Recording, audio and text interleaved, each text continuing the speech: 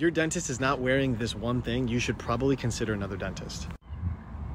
You see, if your dentist doesn't have loupes, they're, they're probably missing a lot of stuff.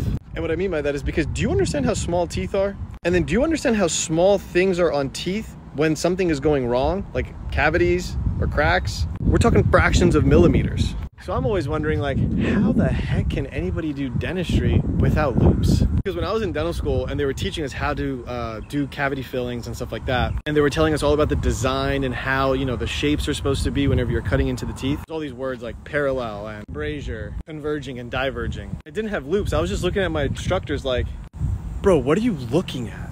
How can you even see anything? And then I bought these puppies. Now I can see everything. If your dentist doesn't have these, you could have phenomenal vision, or they might be super hunched over, getting all up in your face, trying to see every little thing. The dentists who don't wear loupes and are doing great dentistry, hats off to you, because I could never do that.